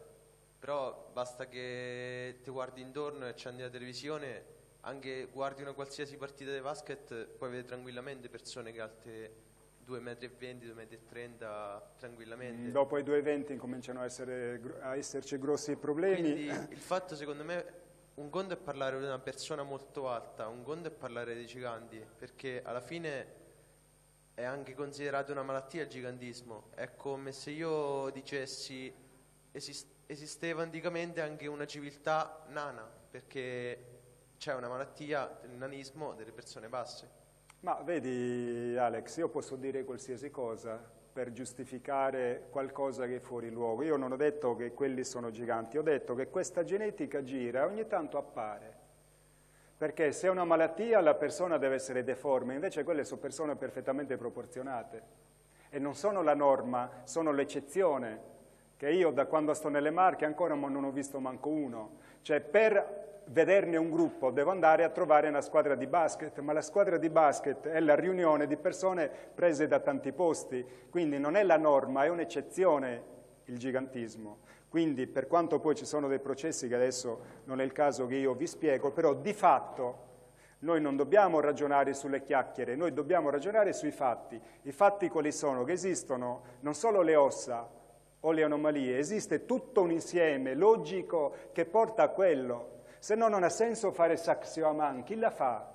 Non ha senso fare una porta così grossa, non ha senso fare questi massi giganti, ha senso, non ha senso fare queste statue gigantesche, non ha nessun senso, ha senso se è rapportato a esseri di dimensioni maggiori, con un'altra forza e un'altra tecnologia. Sì, sì, no, no, no, ma non ho mai messo in dubbio la, magari la teoria che in un passato ci potevano stare queste persone, però abbiamo visto magari il femore di 1,70 m che magari apparteneva a una persona che poteva essere di 4, 5, 6 anche, esatto. anche di più e una persona molto alta magari di 2 metri e qualcosa. Cioè, Vedi, potrebbe, sono... potrebbe, essere come potrebbe non essere analogie tutto qui. Certo.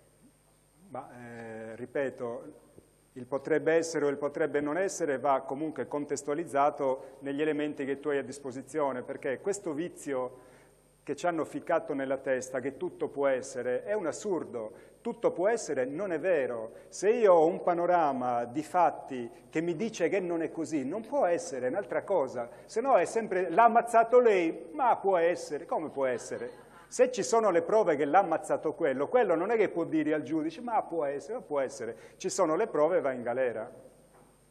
Chiaro? Cioè il discorso è che l'ortodossia tende sempre a giustificare in modo assurdo ciò che invece è evidente, come quell'archeologo che a noi ha detto sono camminamenti sacri, bene andiamo a camminare, no non si può, si rovinano, ma è una risposta logica, è una risposta da idiota una risposta così, eppure ti dà quella e quella è l'ufficialità. Quindi l'ufficialità mi può dire che è una malattia, ma l'hanno deciso loro. Dove stanno le prove? Oggi danno gli psicofarmaci ai bambini che sono super intelligenti e super, super vivaci. Quindi se loro decidono il fatto che tu c'è un figlio super vivace, diventa una malattia. Ma a casa mia è anche una malattia essere troppo stupidi. Allora, chi, a chi gli diamo gli, gli psicofarmaci? Mettiamoci d'accordo l'ultima cosa, l'ultimissima, è tipo sulla Bibbia parlava di Golia che era un gigante, sì. poi abbiamo visto la foto di Polifemo, questi giganti erano, erano malvagi? Sì, infatti la stessa leggenda sarda, compresa quella biblica, dice che furono distrutti perché si ribellarono a Dio. Infatti, tu, cioè, ci siamo mai chiesti, ma perché in tutto il mondo la maggior parte dell'antichità è sepolta? Perché? Cioè le mura romane stanno sempre lì, non sono sepolte. Quindi è accaduto qualcosa a livello planetario che ha sepolto tutto. Cosa può seppellire con 7, 8, 10 metri di terra qualcosa? Un grande diluvio, uno tsunami pazzesco. Questo, la logica. E siccome in tutte le culture questa storia del diluvio c'è, è accaduto, cioè l'antica società del passato è stata spazzata via da un cataclisma di proporzioni globali.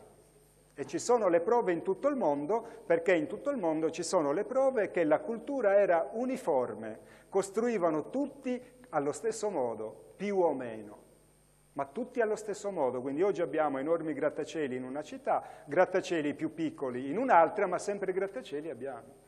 Quindi questo è un discorso sensato, quell'altro è un discorso insensato, soprattutto se troviamo queste cose all'isola di Pasqua, che, che, è un posto talmente remoto che quelle cose hanno logica solo se quello è un pezzetto di un continente che adesso è tutto sott'acqua. Qual è la prova? I resti di Onaguni, i resti di Bimini. C'è più prova di quello, ma ce ne sono tanti altri sparsi per il mondo. Quindi l'antico passato è stato seppellito e affogato e abbiamo perso la memoria.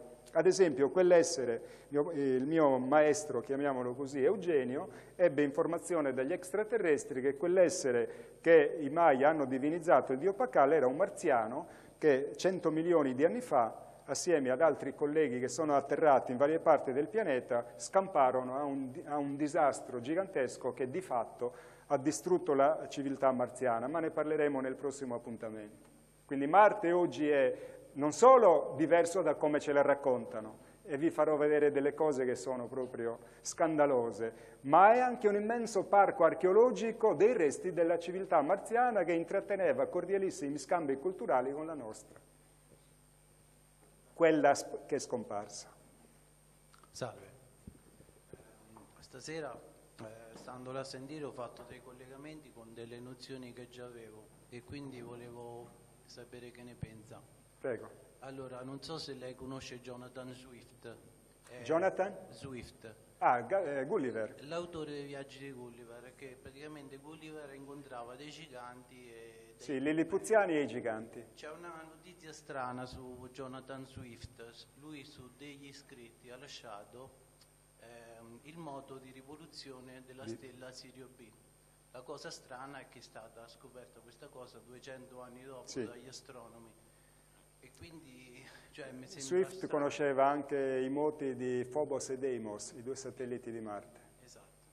Quindi certo, ma vedi, non mi ricordo se l'ho fatto vedere, c'è una corrente di conoscenza, diciamo così, iniziatica attraverso i secoli che ha conservato e tramandato uh, queste verità, che non sono mai state, eh, diciamo, diffuse alla massa perché il potere faceva fuori chi osasse violare questa questo diktat, questa imposizione. Ma già, già, eh, in tempi recenti, ad esempio Voltaire, sapeva benissimo che noi eravamo visitati da esseri provenienti dal cosmo perché Voltaire si intratteneva con grande piacere in colloqui con questa gente qui, che lo facevano salire sulle loro astronavi, dove lui vedeva delle cose che in una lettera autografa giunta fino a noi ha descritto.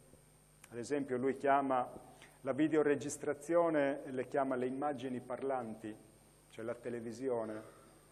Come, come può, cosa intende parlare Voltaire quando parla delle immagini parlanti? È come il culto del cargo, cioè ha visto qualcosa che nella logica della scienza dell'epoca non aveva nessun senso e quindi le ha descritte con un linguaggio non tecnico. Oggi noi la chiamiamo televisione, che è un linguaggio scientifico, cioè trasmettiamo delle onde che creano un'immagine, quindi una televisione. Quindi sì, quindi Swift probabilmente ha avuto accesso o diretto o indiretto a, a questa informazione, in, facevano così, le mettevano in romanzi come ha fatto Giulio Verne, cioè creavano delle, eh, o come ha fatto Leonardo da Vinci, creavano delle cose apparentemente artistiche e accettabili, cose accettabili, ma facevano passare comunque un'informazione che altrimenti gli avrebbe causato grossi problemi. Qualche altra domanda? A che ora andiamo a dormire? Adesso.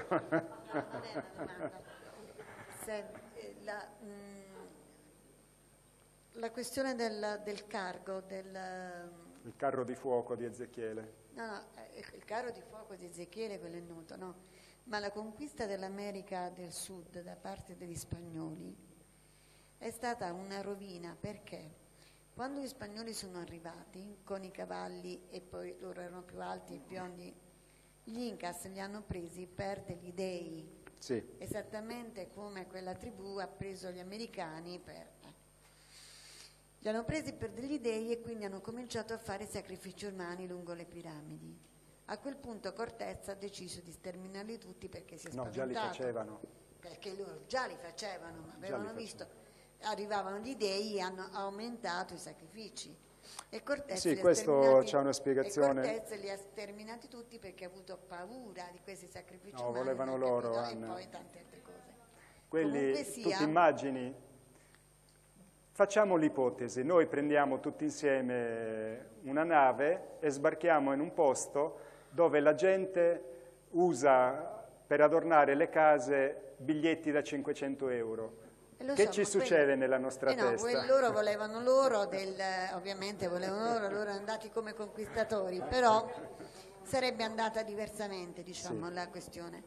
E poi la, la, mh, molte cose che tu hai detto stasera, sia la questione di Marte che è stata distrutta prima ancora del diluvio universale della Terra e di altro, ci sono tante scuole iniziatiche che lo dicono, anche adesso attualmente il ragazzo indaco che sta andando in giro per il mondo lo ha detto assolutamente che Marte era stata eh, diciamo distrutta prima della Terra e, e non solo, ma ha detto che i giganti hanno abitato la Terra. Sì. e questo è avvenuto molti e molti secoli prima di Noè, di Abramo e di tutto il resto. Sì, sì. Quindi diciamo che eh, adesso la questione comincia un po' a girare e a diventare Sì, sta- siamo nel tempo in cui si sta compiendo la profezia di Cristo che dice che la verità da sotto il moggio verrà alla luce, quindi c'è un moto, vedete anche gli scandali politici, prima non emergevano, adesso invece uno dopo l'altro, quindi c'è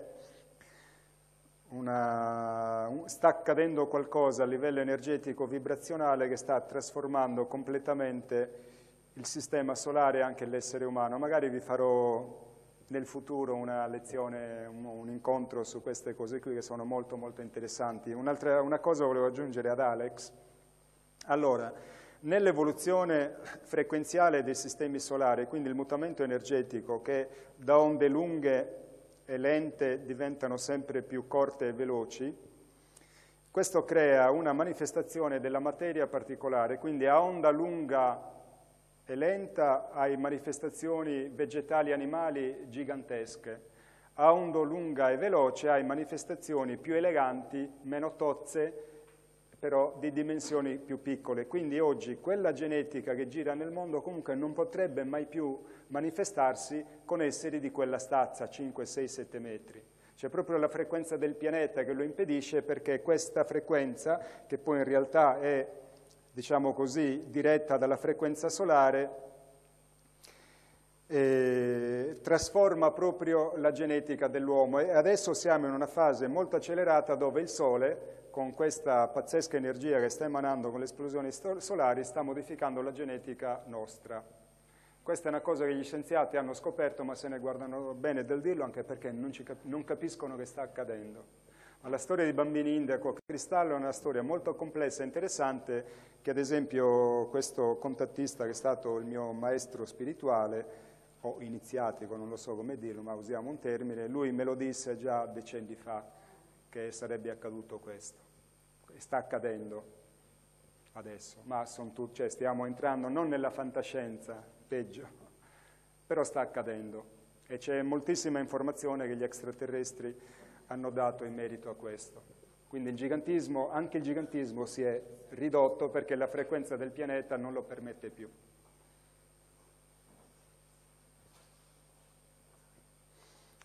Sì, prima che vado via mi ricordano le mie efficientissime segretarie. Eh, io sono disponibile a- alle vostre domande, ai contatti, quindi chi volesse restare in contatto e aggiornarsi, perché ne accadranno tante, sempre di più. Cioè siamo in una fase in cui anche queste civiltà esterne si avvicineranno sempre di più all'umanità. L'altro giorno c'è stato un altro avvistamento di massa in una città spagnola in pieno giorno, quindi queste notizie vi serviranno per non andare nel panico.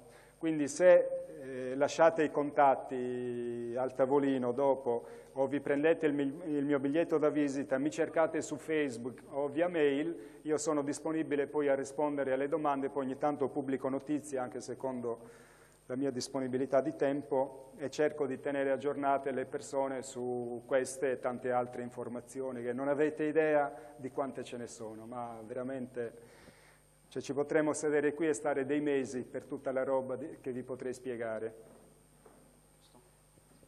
Allora, abbiamo terminato, ringraziamo per Giorgio Caria anche per questa appassionante disquisizione di questa sera.